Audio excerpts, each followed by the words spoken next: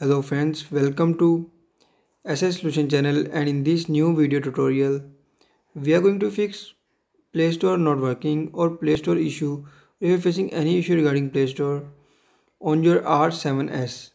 So first of all just do subscribe and also press the bell icon if you are new on SS Solution channel. So to fix R7s Play Store issues first of all just uh, find settings option and follow every step as I'm showing you in this video on your R7s.